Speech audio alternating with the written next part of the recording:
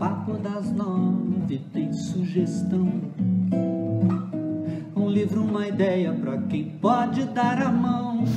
Nesses dois anos de Papo das Nove, a vida de muita gente foi tocada de uma forma positiva pela tua generosidade. Nós tivemos no Papo das Nove em ti, na tua pessoa, um amigo, uma escuta amorosa. Você me trouxe muita alegria, muita disposição, muito conhecimento. Adoro, dou muita risada com você. Um beijo. E o que marcou muito, além de suas explanações que são muito boas, o que marcou mesmo foi seu cantinho, que inspirou aqui eu e o meu namorado a fazer esse cantinho aqui em casa. A live que me chamou mais atenção foi menos plástico e mais juízo.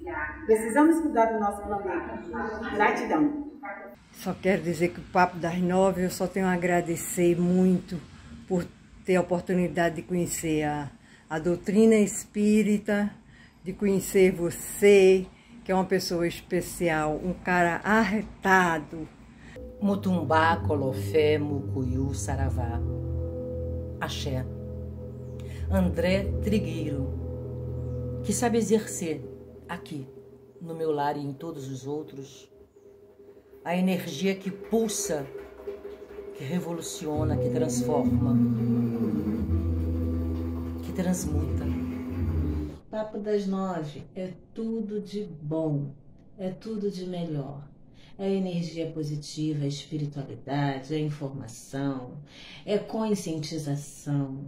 Então, na minha vida, o Papo das Nove faz muita diferença. E eu acredito que na vida de todas as pessoas que estão se conscientizando de tudo que está acontecendo, o Papo das Nove tem sido um combustível maravilhoso de força, coragem, fé, determinação.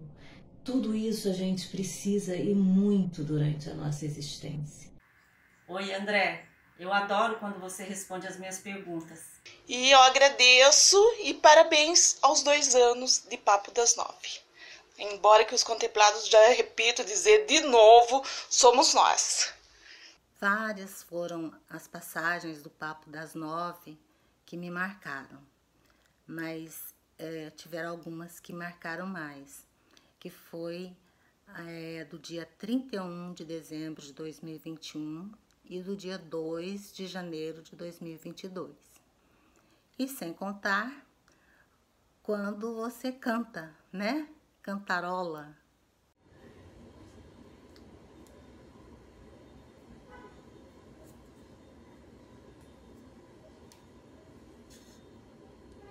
Oi, gente do Papo das Nove, parabéns, vida longa ao Papo das Nove. Vim aqui pela força da gratidão. Obrigada, André, por tudo, por todas as mensagens. Muita luz, muita paz. Vai em frente, que Deus tem muito para te dar. Um abraço, amigo.